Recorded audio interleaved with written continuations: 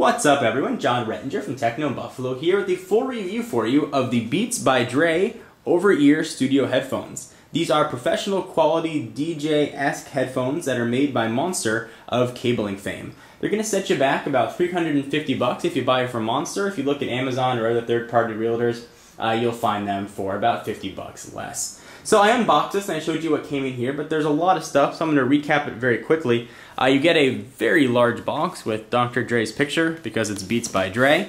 You're going to get a cleaning cloth. You're going to get the headphones in a carrying case, which I'll show you in just a minute. You are going to get two cables. You're going to get a black one and a red one that's inside of there, which you will see in a second.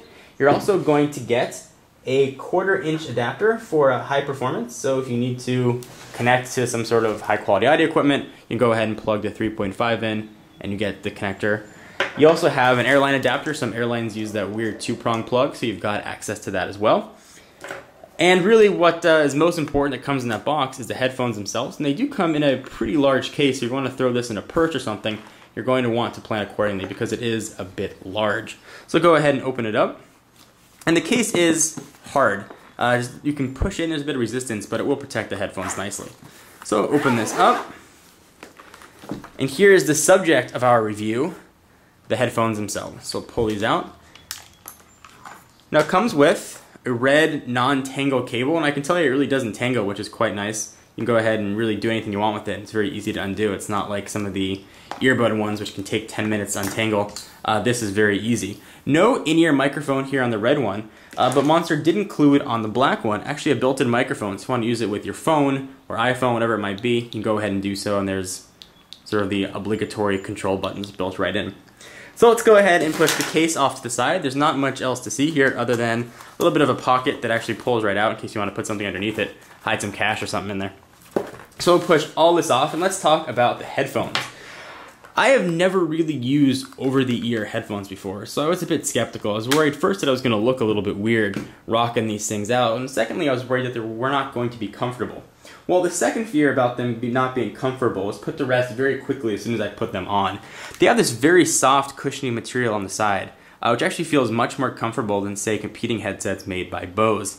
Um, I've got kind of sensitive ears and I have things that are pushing up to them uh, for long periods of time. They can start to hurt. And I wore these on a flight for about four and a half hours and I had no ear discomfort, which is quite nice. Now that may also be due to the fact that the actually ear cups themselves angle and form to your head. So this will conform to your ear instead of your ear having to conform to the headset.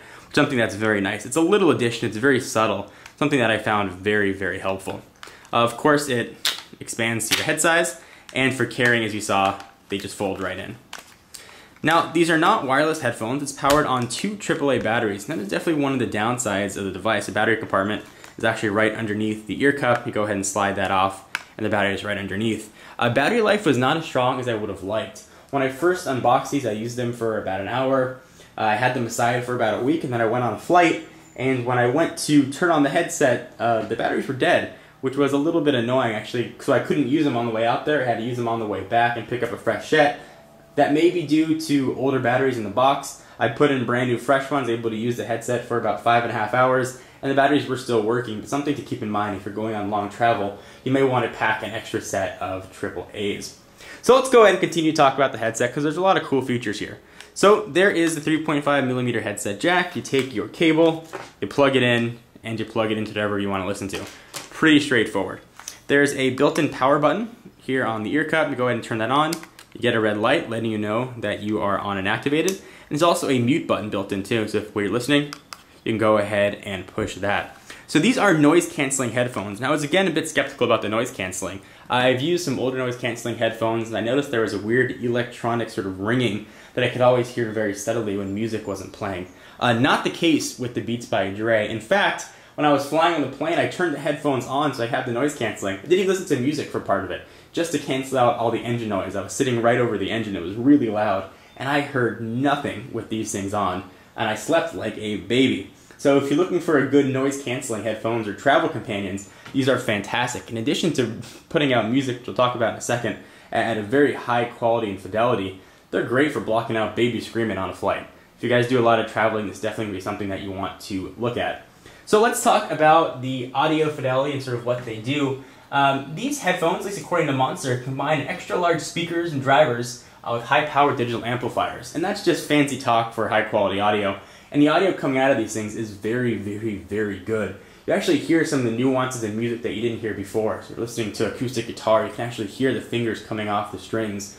Or if you're listening to a live recording, you can actually hear the singer's breath, uh, which is kind of neat. Things you don't really hear on in-ear headphones. The things that you didn't even know were there on all the tracks you listen to. I listened to uh, some live albums on these and say the Apple in-ear headphones that come with iPods or iPhones, whatever Apple product you get. And really you could clearly hear a difference. And you'd expect to hear a difference. Something for this price point and this size, you really want to make sure that you're getting uh, something that's worth your money.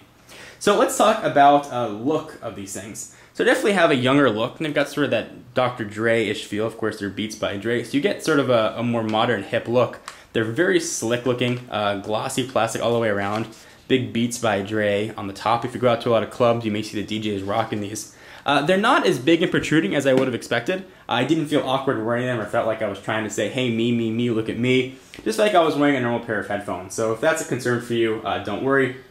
I'll put a link down below if you want to check out the unboxing video where actually I put these things on and you can see what they look like on a real person's head. Overall, I've been very impressed with the Beats by Dre headphones, and I have to admit I came in uh, admittedly skeptical for this price point for headphones. I wasn't sure that was going to be worth it, but if you value audio fidelity, you're looking for over-the-ear headphones, and if you want really fantastic noise canceling, which for me is hands down the biggest selling point of these uh, headphones, uh, you really are getting a, very nice set of, uh, of headphones and with really good audio fidelity something that looks nice as well. You get a high quality case, but the case again is rather big.